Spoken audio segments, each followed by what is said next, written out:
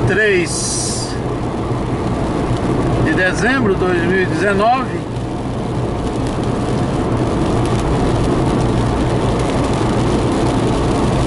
Nove horas quarenta e cinco minutos.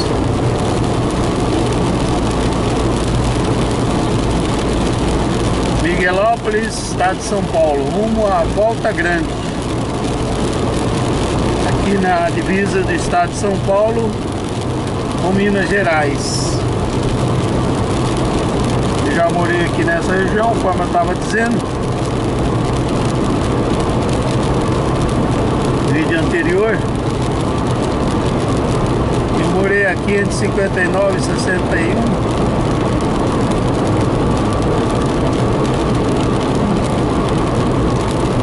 juntamente aqui com a família do meu avô José Ursulino da Silva,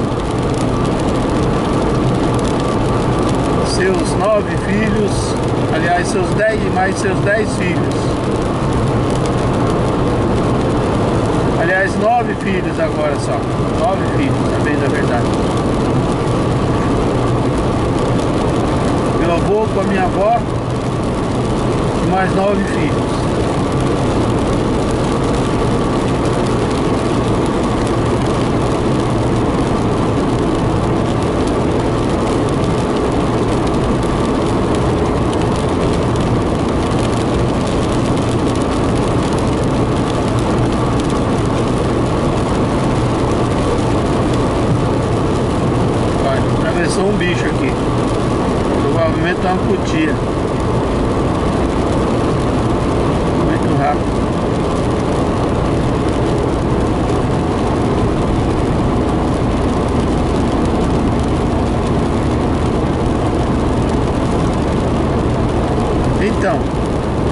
Moramos aqui na, nas margens do Rio Grande, na Volta Grande.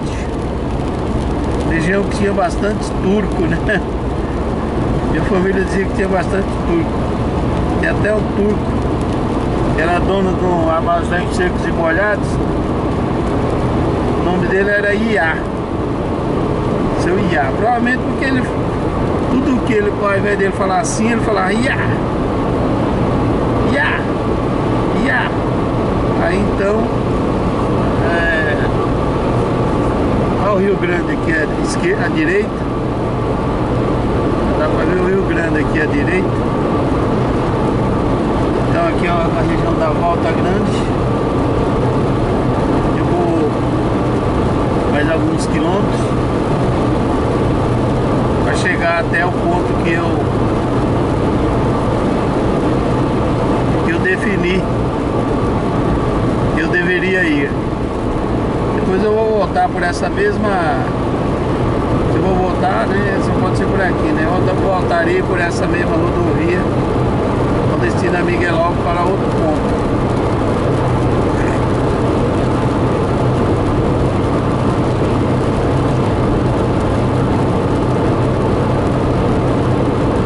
Então aqui nós moramos na barranca do rio Só soja e cana, né? Na época era algodão, principalmente, né? E no entre safra plantava milho.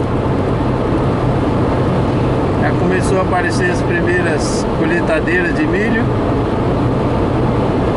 Plantava arroz também, é o Rio Grande aí, ó. É um mar, não é o rio, é o mar. Bom, que trouxe essa região foi nem tanto o rio, né? Porque vira e mexe eu tô cruzando o rio, tem rio em qualquer lugar, aqui na região sudeste. Mas eu morava na região desse rio, aqui na beira desse rio, aqui à esquerda também tem um rio. E é o que caracteriza a volta do rio, né? Volta Grande. Então eu, eu morava aqui na barranca do rio, com meus 6, 7 anos de idade a gente pescava muito no rio. Na época de seca, então apareciam as pedras, não tinha usina hidrelétrica né, igual hoje. Então era um rio com muita pedra no fundo, né? Então dava para atravessar o rio pelas pedras. Tem algum canal, alguns canais onde os barcos locais passavam. Mas com cuidado ainda. Porque era, era, a correnteza era muito forte. Podia levar o carro para, os barcos para as pedras. Pois bem. É, um dia eu fui pescar, né? tive uma sorte, peguei uma, uma grande piapara. O maior que eu já peguei até hoje foi aqui nesse rio.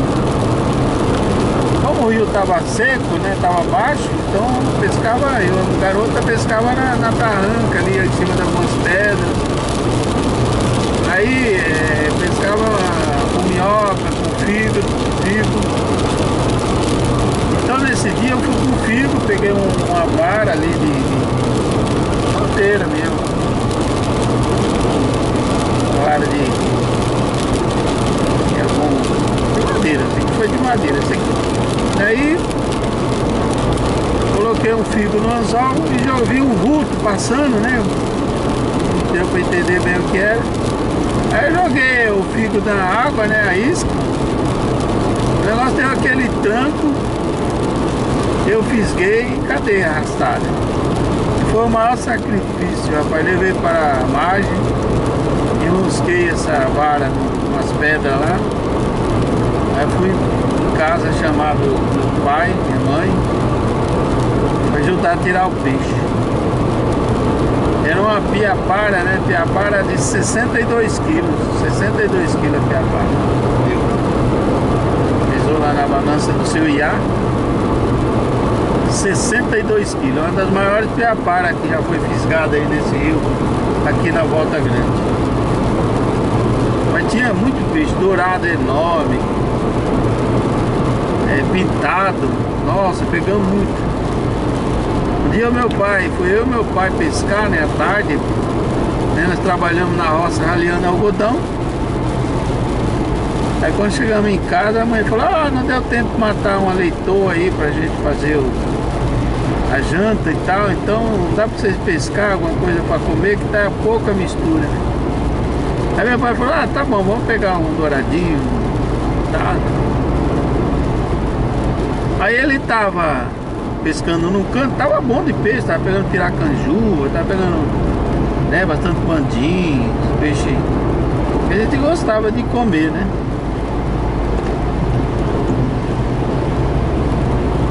Aí de repente eu ouvi um barulho. Aí achei que era o meu pai, né? Fui pra direção do meu pai. Aí eu Eu vi aquele vulto lá na árvore. Falei, ah, o que, que o pai tá fazendo lá na árvore? assim, eu falei, é muito grande, meu pai é naquele tamanho. Eu fui, prestei mais atenção, fui lá mais pra perto, fui ver. Não, mas não era uma piapara. A piapara para comer figo, ela pulava na, na, na os galhos ficavam baixos assim, né? Dois metros de altura, até do menos. Ela pulava pegar figo para comer a folha. A, a, a piapara pulou, pegar, comer o figo, aquele caixa de figo do, do, da figueira e ela errou na, na calibragem lá passou do, do, do fígado e foi foi lá pra cima e ficou enganchado na galha de fígado aquela piaparona enorme Pô, aí nós não, acabou a nossa pescaria, né? Porque nós pegamos aquela piapara que tava, tava trepada lá no pé de figo, rapaz. Ela pulou pra pegar o figo ficou trepada. Aí nós pegamos e levamos para casa. Deu mais de 40 quilos aquela piapara, enorme. Uns 49 quilos mais ou menos. Que piapara bacana. E a história também, né? Como é que pode? A piapara a gente ia, ia, a gente ia pescar, tava botando o figo no anzol, a piapara você tinha que colocar logo, senão ela pegava na, na sua mão a, o figo. Era, era assim, Aqui tinha muito peixe, viu? Era muito legal pescar aqui. E é, deve ser, mas agora tem usina, né? Aí não, eu, eu vi, não vi nem árvore aí na, na margem do rio. Aqui tinha mata. Tinha sucuri aqui, era. Nossa! Sucuri aí já. Eu ficava sempre cismado aqui quando ia pescar, né? Porque um amigo da nossa família viu uma sucuri com mais de 60 metros de comprimento, né? Então aí você não fica tranquilo num ambiente desse, né? Então eu. Qualquer barulho, qualquer. Dia ela pegou uma novilha enorme, né? Aí de umas oito arrobas por aí. Essa, essa sucuri já, já tinha engolido quase tudo, tá só com as pernas do sucuri pra fora. Aí o, o pessoal falou, não, é judiação, né? Aí pegou, tirou e foi onde mediu a, a sucuri, né? 62 metros de comprimento. Muito grande. É, aqui tinha muito, muito peixe, muito bicho, né? Principalmente paca, cutia, né? Esses peixes, esses bichos. Rio Grande, é aqui, ó. A ponte sobre o Rio Grande. Que visa São Paulo com Minas Gerais. Então estamos saindo de São Paulo, entrando no estado de Minas Gerais, atravessando aqui o Rio Grande. Aqui na Volta Grande, entendeu?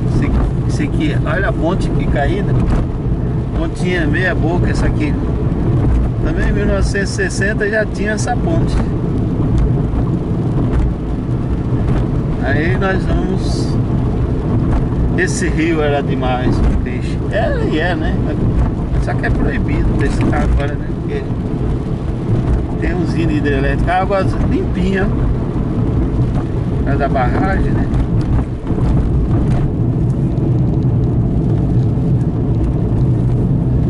Agora aqui nós estamos no estado de Minas Gerais 23 de dezembro de 2019 Minas Gerais Chegamos em Uberaba, Minas Gerais é região de Uberaba, né? Região de Uberaba, Minas Gerais Então vou retornar, né? Retornar aqui no estado de Minas Gerais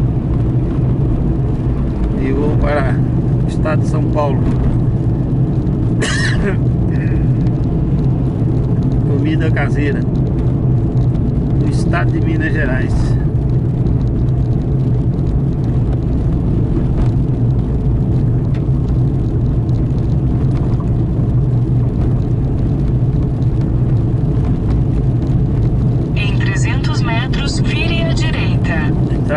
Mas a rodovia tá ruim em Minas Gerais. São Paulo tava ruim, eles reclamavam aqui. Cadê o Aécio Neves? Ladrão. Vire à direita.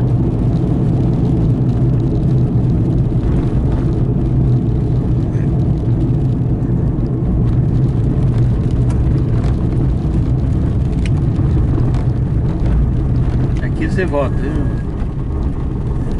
viu? Aqui você volta, que aqui não é seu ambiente.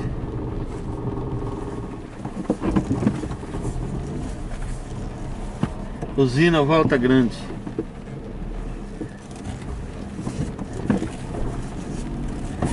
Usina Volta Grande, eu estou voltando. Aqui não é permitido. Bicão. Estado de Minas Gerais, aqui essa é uma entrada